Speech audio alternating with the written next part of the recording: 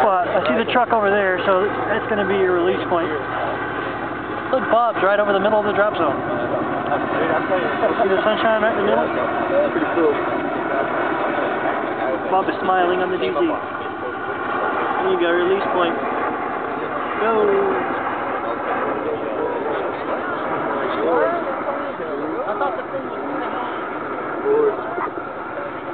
These guys, these guys are